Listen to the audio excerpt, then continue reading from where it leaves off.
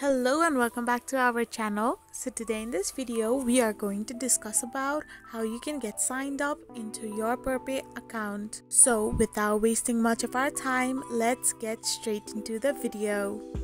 So first and foremost, all you need to do is simply tap open a web browser of your preference and type in the URL www.app.perpay.com slash sign up.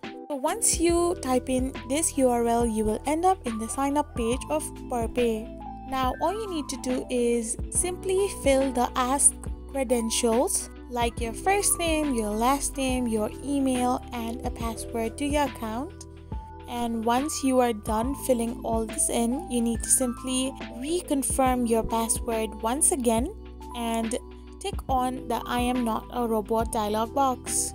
After this, simply tap on the Join Perpay app and this will then help you to get signed up into your account successfully. So after you got signed up, you need to fill in necessary informations which are asked by the Perpay website. So once you're done with all these, you will have a newly created Perpay account.